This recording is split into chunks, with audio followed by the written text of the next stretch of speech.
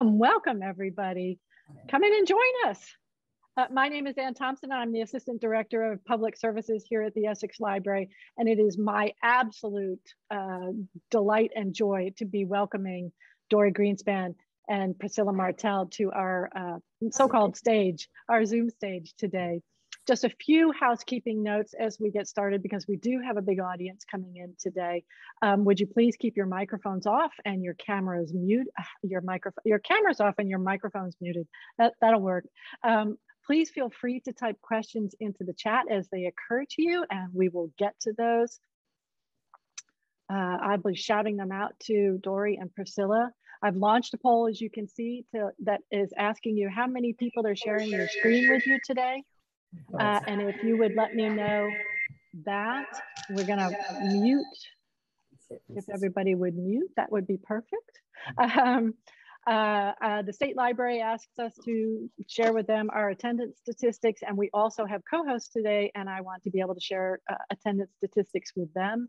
And speaking of co-hosts, I'd like to thank the Hotchkiss Library of Sharon and the Ivoryton, Phoebe Griffin Noyes, Acton, Westport, Deep River, and Chester libraries for partnering with us today. Uh, and it looks like pretty much everybody has answered our poll.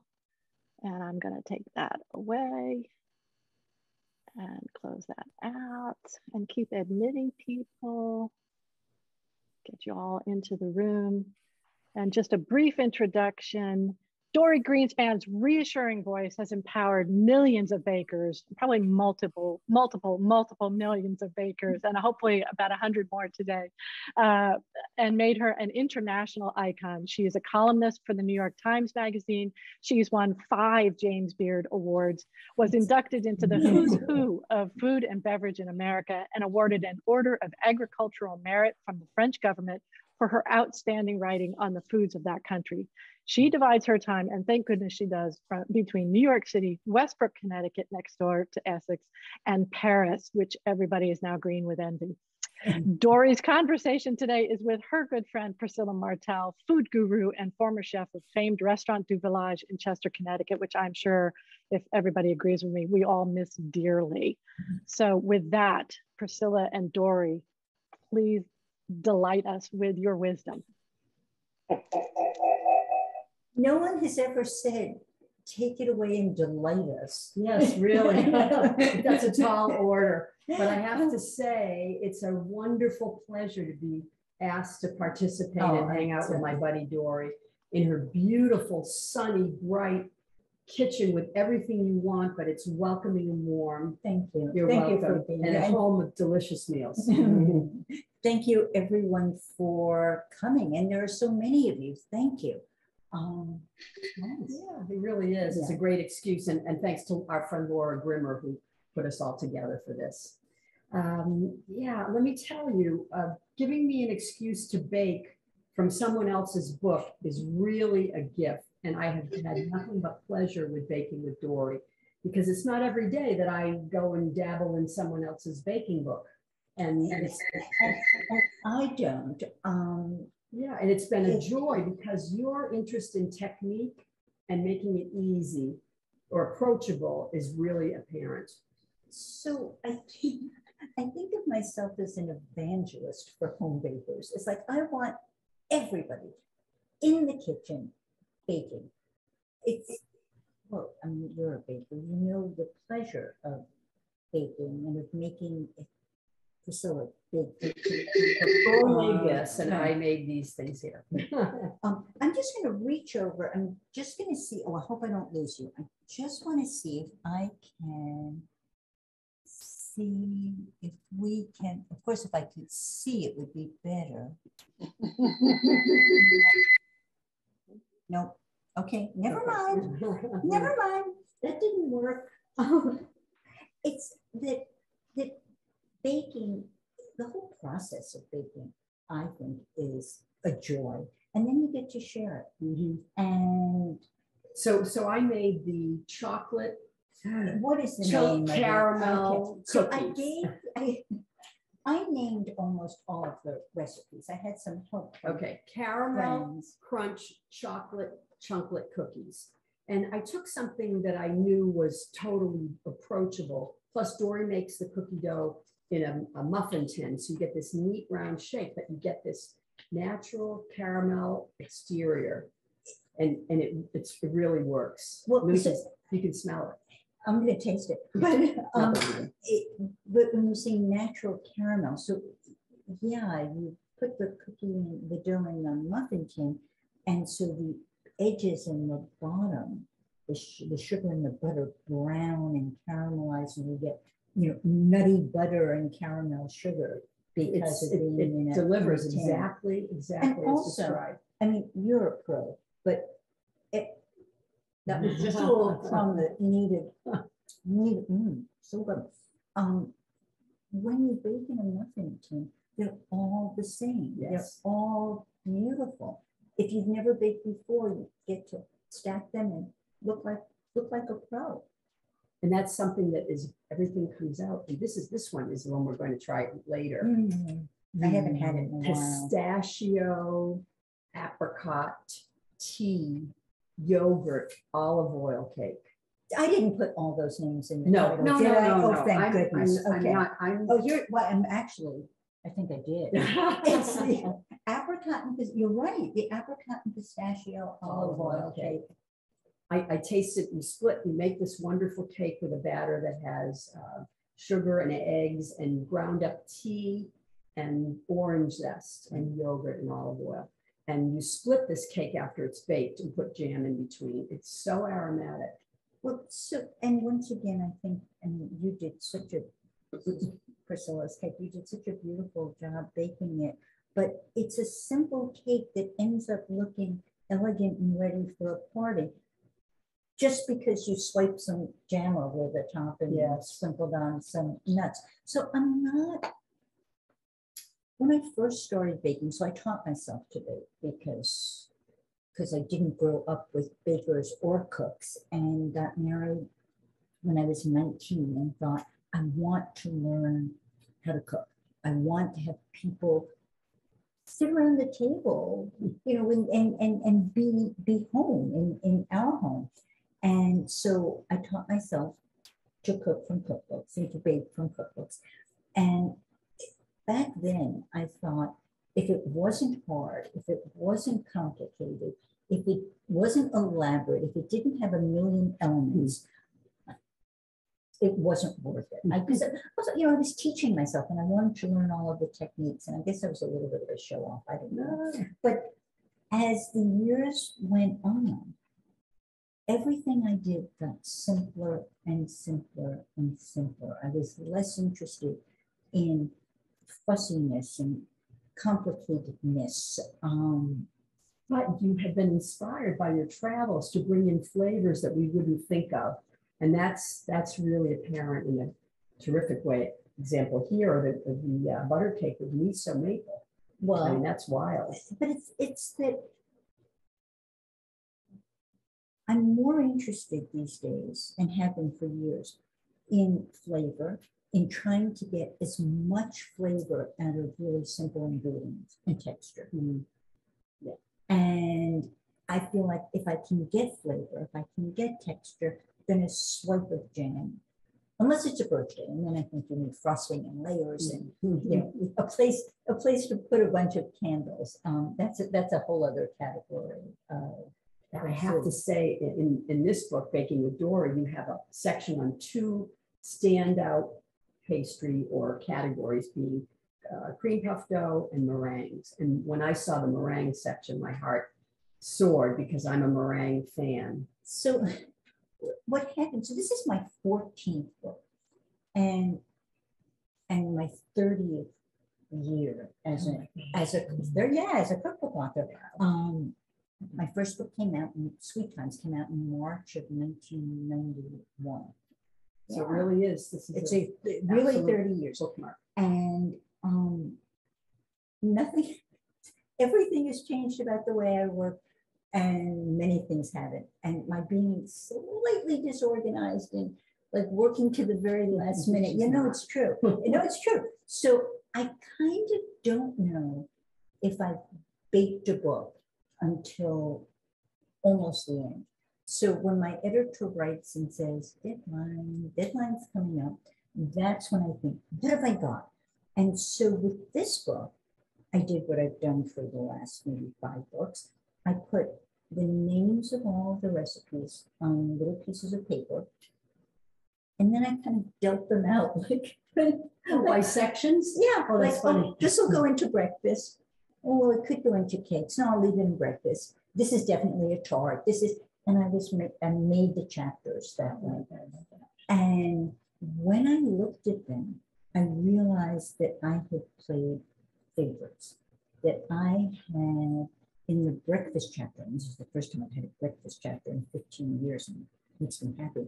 Um, I had made brioche, and then having made brioche and made a loaf, I made it into a babka, and then I made it into a savory babka, and then I made it into sticky buns. And so the breakfast chapter was a little heavy on brioche. There were all those cream puff dough recipes and all the meringue recipes and so many chocolate chip recipes that I ended up making sections in most of the chapters that I ended up calling sweethearts because those were those were the ones that I had kind of gone deep Mhm. on because I love them. And so meringue got its own little chapter. Mm, It's so, and it's so easy to make. I grew up with grandmothers that both of them made meringues. But I don't, do they make them up here? The, do people make meringues? I'm not sure. They should. Well, You'll make it easy you, them. you can you can tell us if you make meringues. You can pipe up in the In the chat, yeah, and we'll catch up with it later. Do you know, I remember um, when I was working on my book Sweets, I went to Gerard Mulot, the pastry shop in Saint-Germain-des-Prés, and I had asked him, I said, I'd love to have a recipe of yours in the book. And it's beautiful display of tarts and, and cakes and, and, and small little pastries. And I said, you know, just give me the recipe that you would like, you know, my readers to have. And he said meringue. Hmm. And he made, he asked me to come to the pastry shop at the end of the baking day. And I thought, well, he probably was doing that because he didn't want me to disrupt production. But in fact, that's when he made meringue. And he made the meringue, not his pastry cooks. And he made the meringue just as, as we would make it and put it in the oven and let it stay there all night. So as the the oven was declining cooling down mm-hmm. in the declining heat, that was how he made meringue. I, I just think you- if you talk about texture and flavor, it really delivers. It has texture, it's totally crunchy, and then you can have the cream with it or ice cream, whatever. Well, but it also, when it bakes, it often, it cracks in that crack. Mm. The sugar inside gets a little Mhm. caramelized, so it has more than, it's not a mono flavor. It's Mm. not just sweet. When you make it, that is. Well, it's I, beautiful. I don't think it's, I don't think it's supposed to, I don't think it's supposed to crack, but I like when it does. Rustic. But you know, we were talking the other day, and you have a terrific story about how you ended up here in our neighborhood. And I, I don't think we want to go too much further without you telling. It's been about forty years then. It, it is Yeah, forty Forty years. years. It, next year will be forty years that we're in Westbrook. And, um, my husband and I were with family and a cousin said, you know, you never visit us. We're not that far away. We were living in Manhattan. He said, two hours, you can be at our house. And we drove up and spent the afternoon with him. And it was, I think it could have been November, like now. And he had a sun porch and the sun was shining. And I thought, oh, it's so mm-hmm. peaceful here. It's so calm. I said, maybe this is where we should live. And he said, the house across the street's abandoned. And that was this house. And we ended up, we had, we hadn't driven up thinking we would buy a house. We hadn't, but it- it just happened like that. And it wasn't until we moved in and started, I had no idea where we were, and started driving around and went to Essex, which is just, I think, six miles away, that I realized that Michael, my husband and I, had spent a weekend at the Griswold Inn a few years before, and I had said the same thing that I must have had like this, this, I've got to get out of here, what moment, but uh, we were there and I said, oh, this is so nice. If only one day we could live near here. And I just, I hadn't, I had no idea. I think somebody said I, I have a lucky real estate gene, but I just, um, the same way that I'm not so good at planning everything in my books. A lot of, a lot of good things have happened to us by serendipity. And We're being- happy you're here. Being, here, I love being here. I love being here. And the other thing you said, and uh, um, you didn't exactly say it, so I'm going to say it in a more quotable way. She has big Y and stop and shop recipes. Yeah. So if, if Paris or Lisbon or Copenhagen can be a- an inspiration, you've actually found inspiration right in our neighborhood. I- you know, it's funny because my last book, Everyday Dorie, which is a, a general cookbook, um, I, I, I called it my Big Y Stop and Shop cookbook because I did it here for the most part and was shopping locally. Went to Guilford so I could go to Bishop's and store, you know, Starfish, but mostly I was shopping in supermarkets. And for this book, for Baking with Dorie, with, for baking with Dorie, I was able to travel. And so the cover cake comes from, it's the Lisbon chocolate cake. And as you said, there's a cake, there are cookies from Copenhagen. And dime, that's very high on my list. It's a, a seed and rye cookie. I'll get the name for that one. That I almost, you can see I have my, my copy, with lots that. of little I post-it things. um, Um, and so I was traveling and I was meeting other bakers and I was going to pastry shops and being inspired by what I was seeing and thinking, oh, I'm going to go home and make this. And then COVID. And so half of the book I worked on, yeah, so half of the time that I was working was out and about time. And the rest of the time was big Y stop and shop time. And I, except for the recipes that have the names of foreign places, um, I don't think you could say one is better than the other because it was inspired by being someplace And else. so you have a gift to be able to eat something and then translate that. I don't know if that interests the, the public, but it does me. How do you taste the Lisbon cake or these Copenhagen rye cookies with chocolate spice and seeds? And how do you, how does that process work? I suppose if you think- get the chef, you get some. Yeah, but I input. think you have this too. It's, my husband says he can't, he can't do any of this. Um, I'll say, I'll, I'll taste something and think, oh, that would be good with ginger. And he'll Mm. say, how do you know? And it's Mm. just a Yeah. library, it, it's, it's a taste memory. It's a, it's a library up there of flavors and, and so I, I'm not alone in this by any means. Um, and as I said, I know you can do it as well. But it's where, don't you find where you can imagine, yeah, Yes. what it will yes. taste like? And it's funny because I think that when you're cooking, you must do that, right? Because I think in cooking, you're always making like these mid-course Yes, you- you you have a destination in mind and you, you have to tweak it to get to where you Take it, you want to right? go. So Sure. it's, you know, seasoning or, oh, this needs to cook down a little. I'm looking at the, the stew that's Hmm. burbling to my left. Mhm. Um, it needs to cook down a little Mm-hmm. bit more. and With baking, the opportunities for making changes in the middle of something, yeah, They don't exist. right? they, right, because you get the flavoring right, but I know that you test many, many times. Right. To get the, uh, the amplitude of whatever you're. yeah, to of course, yeah. But, but, but it's, you, you know, I start with an idea, I think, well, this will be a good combination. And then sometimes it is, and sometimes even as I'm working, so I work um, in pencil and paper. Um, so I write, okay, you know, one cup of flour, mm, that doesn't look as in one and a half, or, and I keep, so sometimes even as I'm working like that, I'll make a little change. I'll look at it, I'll smell it. or If it's a batter, I'll taste it and think, hmm, that really could use nutmeg.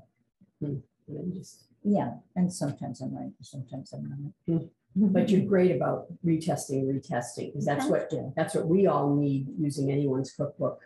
Uh, if it's from unfamiliar in any way, uh, you need to know that the person really has, has been so disciplined to give us a great recipe. Which doesn't mean that. that- No, it's important. I, I, Right, I I there's wave the flag always, you. yeah. Yeah, it's really, Um, really important. It, no, it really is important, but it's also why I think that, you know, some people say, oh, baking, it's so hard, it's so precise, it's so scientific, it's so, and I think it's easier than cooking, because if you have a good recipe, you just follow it. Mm.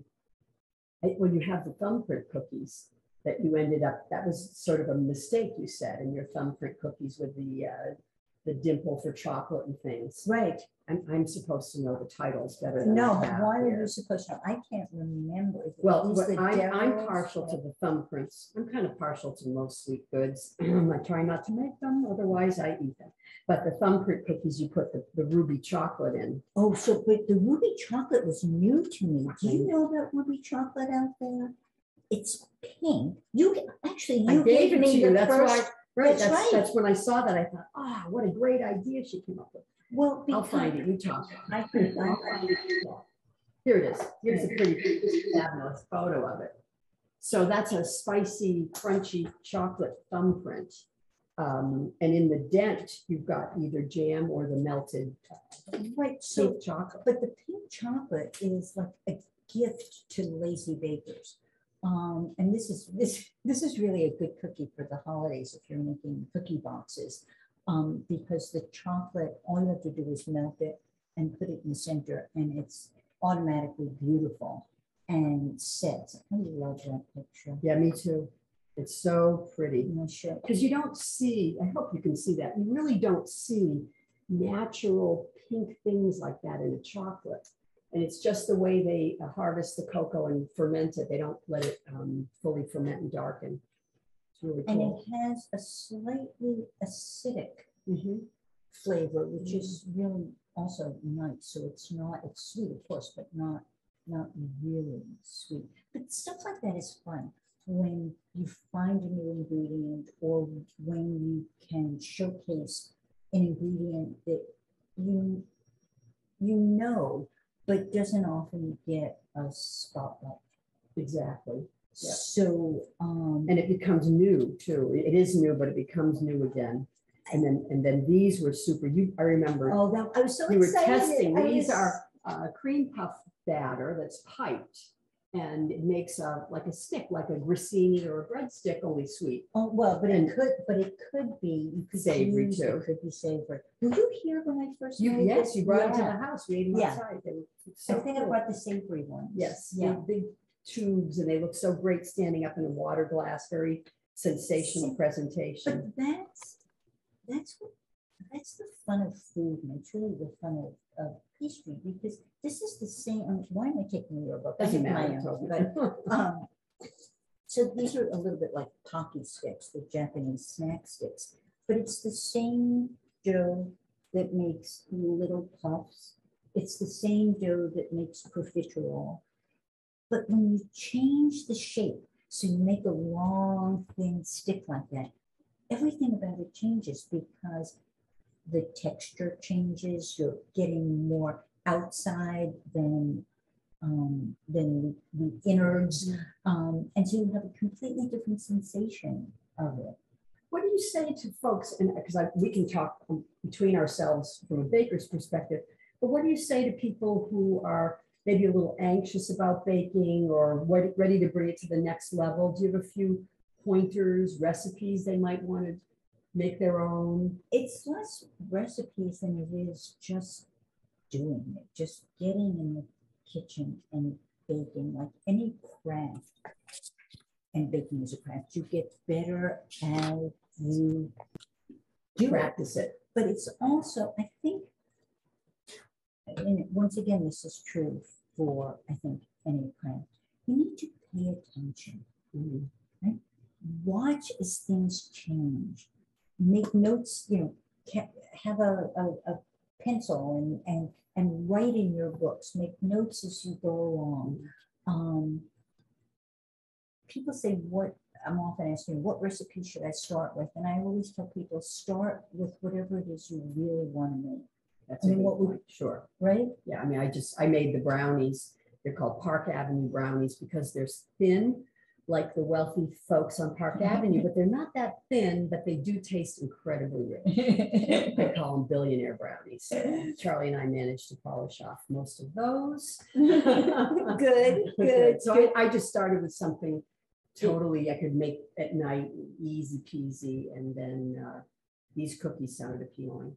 And then this, this is fantastic. Oh, fantastic. so this is, this- I made made this. this and it's, it was on the cooling rack. I didn't move it yet. So it's the cocoa cranberry Linzer tart. Um, it's a chocolate version of a, oh, of a Linzer cookie. Um, and I roll my dough out as soon as it's made. So if, if, you if you have fear of pie crust, I did for years. Um, you're just rolling this out. It's like Play-Doh. You roll it out between the parchment. and You don't have to worry about overworking it or, and it goes into the refrigerator. And then it's cranberry raspberry jam inside and two layers. And it bakes up. It becomes pretty all on its own. You don't have to do anything with it. And I'm gonna pipe, uh, well, I'll, I'll share half of it with you okay. tonight.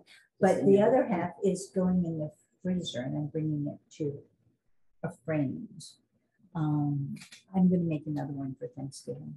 That's great. Yeah, I was happy to see the pumpkin pie too. I might, I might give that a whirl for Thanksgiving.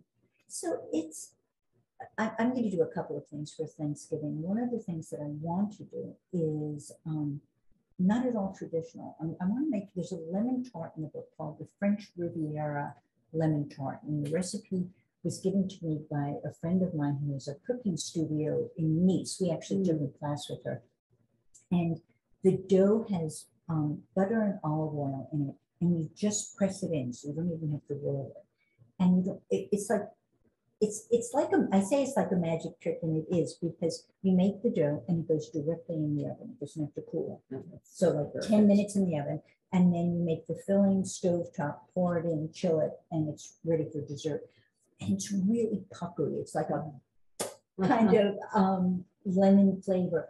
And I think that that would be so nice after a holiday meal, um, Thanksgiving or Christmas or any time when you have a really, when you're having a feast and to have something that is sharp after. Ju- Just to clean your palate, that's a great idea. Yeah, but I mean, I'm still gonna make the pumpkin pie. Of course I am, but I'm gonna make this and then. And then you go off to Paris, Sorry, right? You go sorry. to Paris in in a half a minute. Wait, one sec. Sorry. There we go, okay. so I thought, I, oh, I turned it off, but. Uh, I It was just- the grandbaby. FaceTime, it It was was the the grandbaby grandbaby. calling. Um, but, but, so Thanksgiving, America, but then you go off to France, right? You go So to Christmas, Paris. Christmas and New Year's in Paris. That's which like is- the old schedule, right? That's your, that's That's your right. classic time. That's so for over twenty years, that's where we've spent the holidays and of course not, not last year. So Christmas with friends and then New Year's at our house. It would be. It would be, good to be back. And do you, do you make a, a, a formal, do you have a fancy meal? So I make, I have some things that are always the same and then you can never, I'm the person who goes to the supermarket with a shopping list and comes back with nothing that was on it, but you know, bags full of other stuff. So I'm kind of like that in menu planning, like, um, I'll make a menu and then I'll go to the market and think, oh, that looks so good. That's, that's what I want. So, but we always have gougere to start. So when people come in, there's champagne and gougere, and I have a new gougere recipe in the new book. And that's, uh, choux pastry dough with cheese. Right, cream puff, right, cream right, cream puff pastry, but savory. And this version has Gouda and cumin. Oh, I had those. Yeah. Um, and so that, that, as soon as you come in, because you can make the dough, and I use a cookie scoop to shape it, because I'm not, I'm not, I mean, I can use a pastry bag, but it seems so fussy, so just scoop out, goes in the freezer, and then they get baked directly from the freezer. So it means that when you come in, the gougere in the oven, and you have that that lovely aroma of warm cheese through the house. So so we always start with um, champagne and and gougere, and we always have oysters to start. Oh, nice. And then it's up for grabs. And then we usually go to the Pont des Arts, which is the wooden bridge between the Institute of France and the Louvre. And you can see the Eiffel Tower from the bridge. And so at midnight, we go with champagne and we toast the new year. And then we come back and have bouche noël, um, always have macaron. And this year, I never, I never bake um, a dessert for New You, Year's. you buy the beautiful. I buy the Noel, you- beautiful, right. Whoever, which Right. guy is doing the coolest one. But this year, this year, there's a cookie that I want to make. So I'll be baking. That's. In addition to the bouche noël. Yeah, well, that's fabulous. Well, I'm sure you'll be so happy to be back with your friend, family in Paris. Yes. Now, yes. I happen to know, we're getting close to Q and A, but I know that the community in Essex, particularly in the shoreline, might be interested in one or two Paris hot tips if you have one at the tip of your tongue.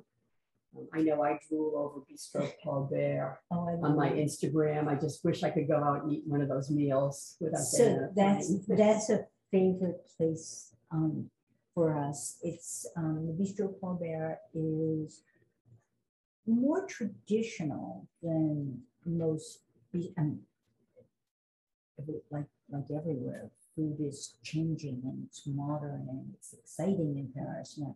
But I love, I love the classic bistro fare and I love, I love the room, the, the red leather banquettes that are just a little worn and the tiles. It's, it's, I love that place. Um, there are two really interesting um, pastry shops. So Cedric Grolet, who was the pastry chef at the Meurice, opened his own shop near the opera. And um, he's doing every everything he does has a look that's that's new. And and you can see it on Instagram. And the Ritz Hotel, um, the pastry chef there opened a pastry shop. I saw it this summer for the first time. And his specialty, what he's kind of becoming known for, um, are madeleines. Oh, okay. But he makes them, he makes giant ones and he makes little ones, and they're filled.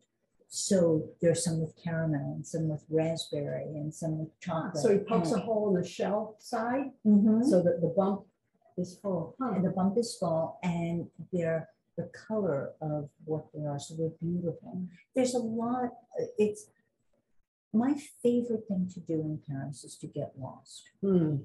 To just, sometimes we, will- Michael and I will take a bus and get off, so, any place, and just walk around and see, and see what's, what's happening.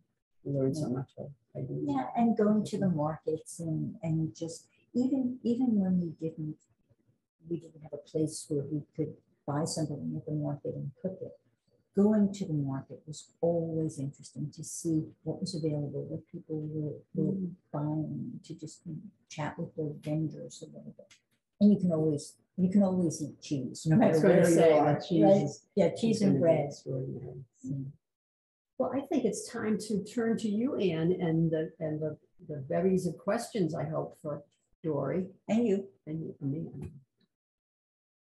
Oh, yes, we definitely have some questions uh, for you. Um, so one of the first ones is, I have to ask, do you watch the Great British Baking Show? And what do you think? And would Oh, you, love con- it. I why it. not start an American one? it. Oh, It's, it's a camp show to me. It's sort of Oh. campy. Oh, see, I just, I, so this is the first, the first series that I'm watching in real time.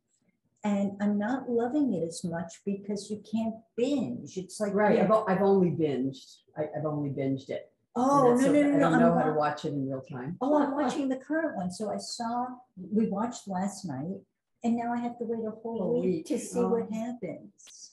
Does everybody out there love it? I, I love We, it. we binge it too. Stuff we Yeah. haven't. you Yeah, we definitely watch a whole season at once. Game, But uh, uh, Victoria Sponge and things that we, that are parlance of the British, but not for us. But Yeah. also, I'm just, I am in awe of what these bakers do. True. Yeah. They are so talented and they're so, I mean, under such pressure.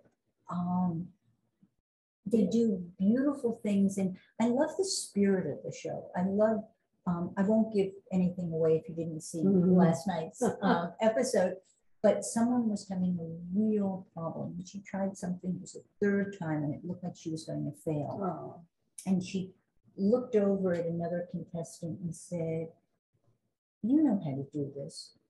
And the other baker came and helped her. It's much less Dude. harsh than the American competition, It's, which it's is, lovely. which is, yeah, I agree. Yeah. And the families at the end, oh, I that's just, so charming, it's, under the it's, tent. I was talking to a television producer about competition shows. And he said to me that the Great British um, Baking Show is the gold standard. Oh, okay.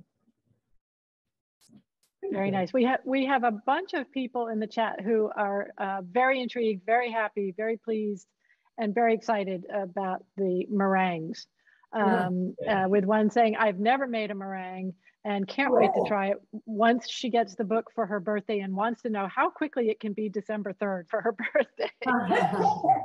um, so when you when you get the book and you're going to make meringue, um, so there's there's a very simple meringue. I call them snackers, but there are two recipes that are so simple and I think spectacular that I hope you'll make.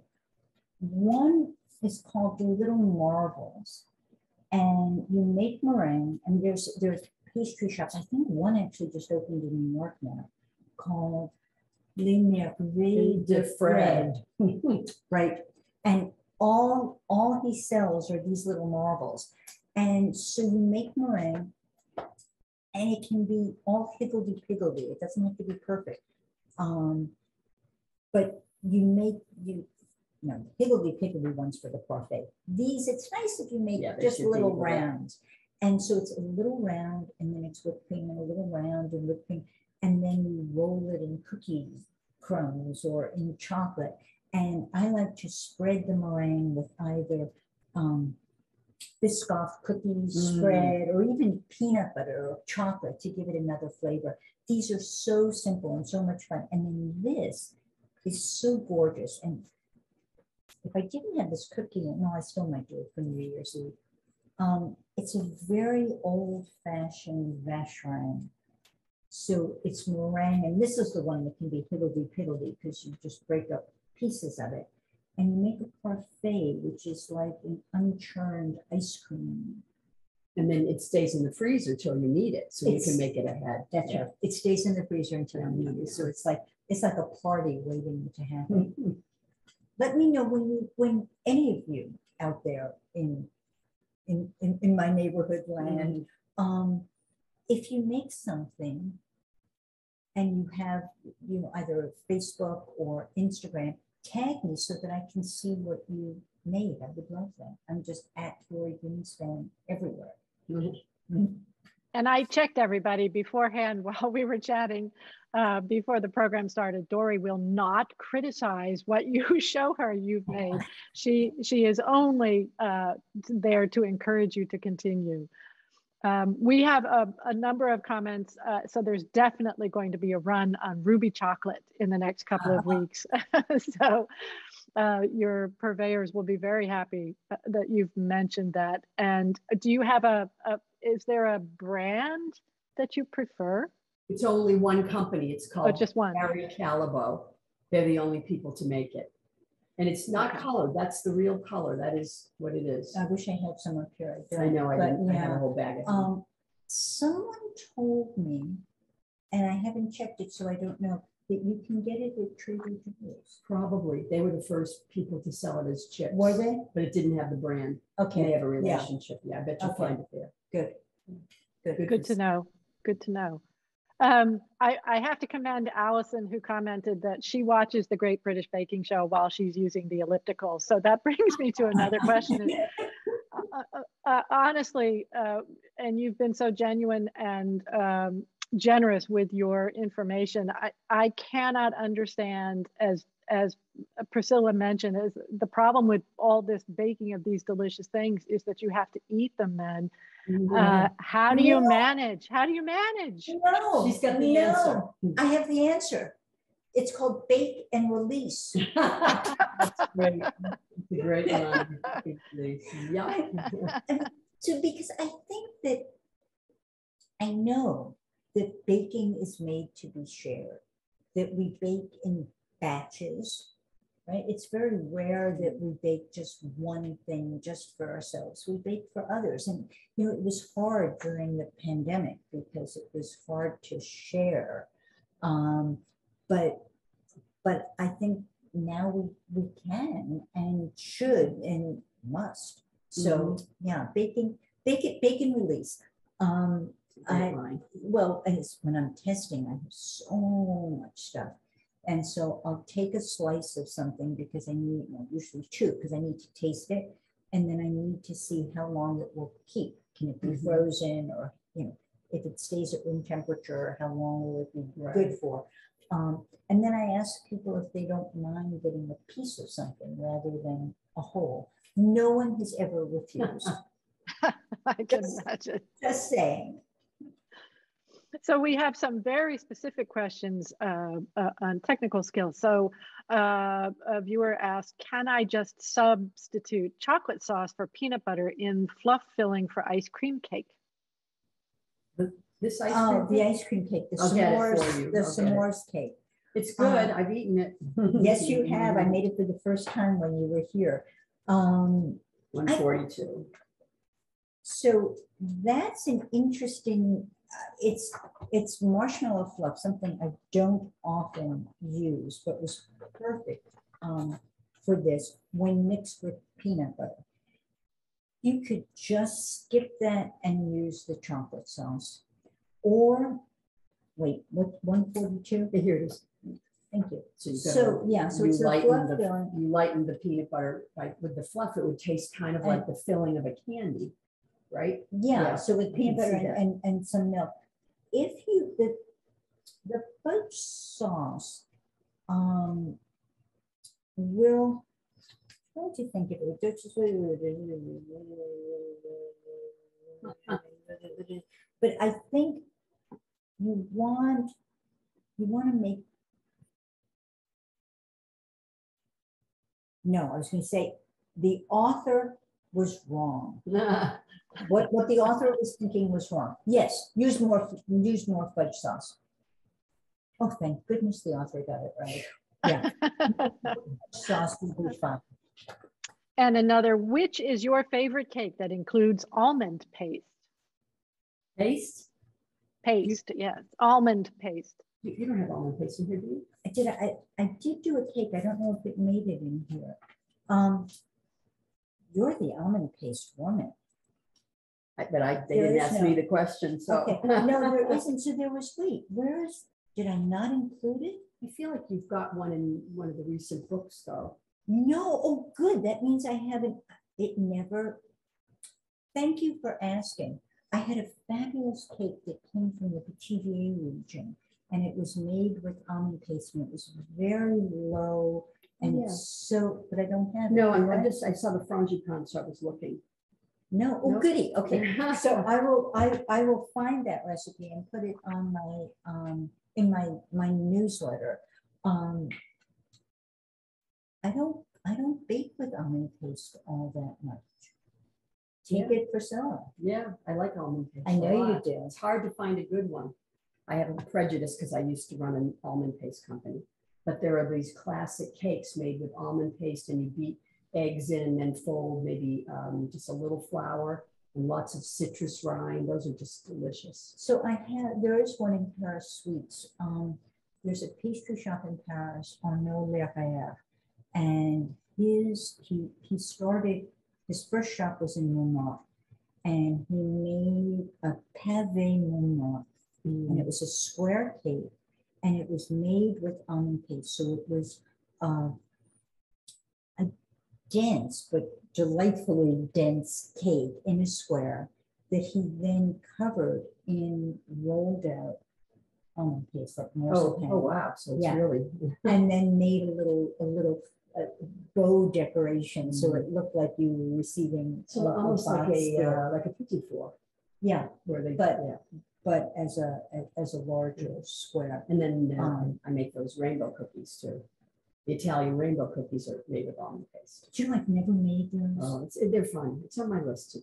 When my, I have an oven problem, none of these people need to know. But can people find on your website, can they find I- I think- recipes with Yeah, almond I think paste? there's a few, yeah, under my name. sure. Good. Uh, and another, have you a curd or pastry cream utilizing passion fruit puree? I haven't, but Just fold it in. yeah, Yeah, it's delicious. Mm. Passion fruit, fruit puree, boiron. I just, I They just saw it it at at fromage, fromage. right, I just saw it today at fromage, right, so you can buy it. Oh, excellent. At Fromage down in Old Saybrook. yes. Um, Wonderful. And I, I- there's uh, lots of questions in here, so I'm trying to go through them. while you very- find I'm just gonna munch a little bit of cookie. Oh, yes, please please do. So I I mean, did, they're here, the recipe is your, uh, you're to chop, you know, uh, good chocolate, but I was lazy and I had large chocolate chips, Mm. Ghirardelli, so it's so good. Mm, Isn't it? It's delicious. But I, I've already, and you toast the walnuts in these cookies beforehand, which is a great way to bring out the flavor. So you get a, just a And richer have the nut whole bit flavor. of texture. Mm. I'm sorry, I just couldn't resist. It's good. it That's what it's there. there for. Extra. Yeah, you're making us all uh, very hungry. I'm I'm gonna be a good girl. Karen says she just made City's Navel Orange Pork Tenderloin from the Around My French Table cookbook, and it was Oh. delicious. Oh, great. So- Oh, thank Mhm. you. Thank you. What's, what's bubbling away on my stovetop is um, also from around my French table. It's um, called my go-to daube. And it's burbling. Nice, beef daube. Yes. We have friends coming to spend the night next Saturday. And I'm going to be away for two days, so Wednesday is some kind of a stew day that I can freeze, so I know that's. Um, uh, it's just the right season for it too. Uh, Gretchen asks if I were to add one cookie to my holiday assortment this year, what do you recommend from Baking with Dorie? World Peace Cookies version 2.0. So some, some of you out there may know the World Peace Cookie. It's been around for a really long time. And it's a perfect cookie. It was, I got the original recipe from Pierre Hermé, the Paris pastry chef.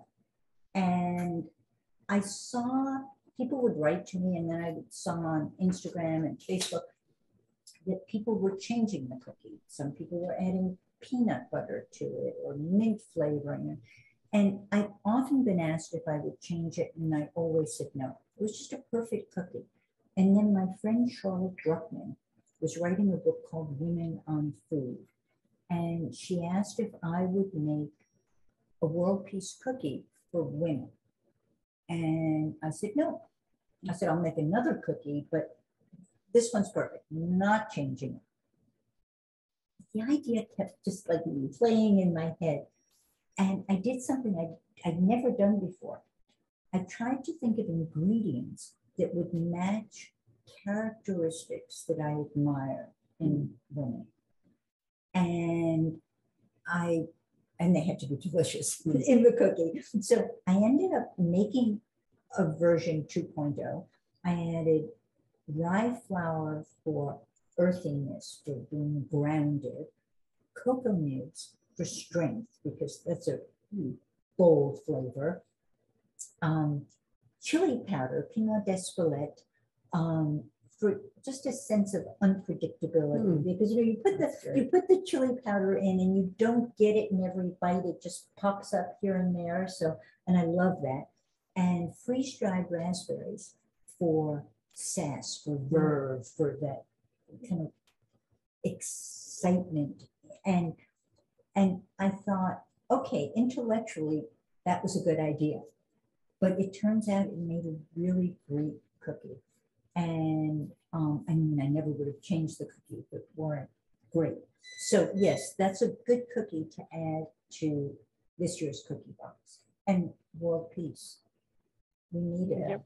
We're due. Yeah. Definitely.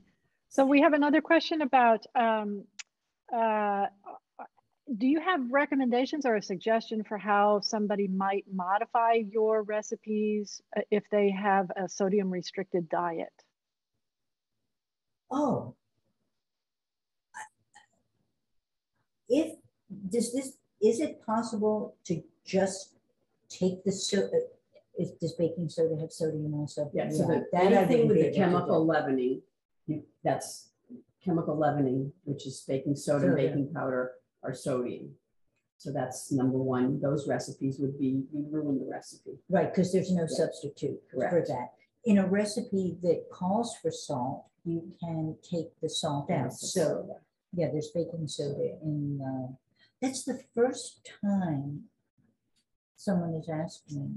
Yeah, and then I'm not gonna mess with your recipe. You might be able to take the baking soda out of the world peace. It's a very small I think it could, I think Yeah. it could, because when we, um, I took the leavening, when I, I had a baking company with our son, and we baked everything in rings, and we couldn't use leavening. Oh, interesting. because it would become kind of Dipsy clumpy, doodle. yeah. Huh. And so we took the leavening out of a lot of cookies and we were just fine.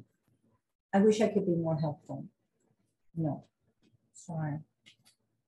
Well, I will say, um, I, I've been a, a big fan of your cookbooks, and my question would be: is I, I'm uh, I said before we started the program that I uh, Uh, have read a lot of cookbooks in my day, not only as a librarian but cooking at home, and there is nobody that I have seen who has been as generous as Dorie in her writing with the playing around suggestions, the variety of adapting or uh, changing a, a recipe up in a way that might suit you better than than the original recipe would. I, I mean, chefs don't normally allow you to take that on yourself and and make some of those changes. Um, and and the same can be said in her newsletter, where I guarantee you that if you uh, subscribe to her newsletter, you will find twice a week that there will be information in there that you never would have anticipated, but it would be something something you'll remember for the rest of your life. Some recommendations, some advice, and you just never know what what treasure nugget is going to be in there. Uh, this week's most recent was about how to photograph food from her from her book photographer, um, and and it's excellent advice. So. Thank you. I mean, it's not a question; it's a statement. Thank you.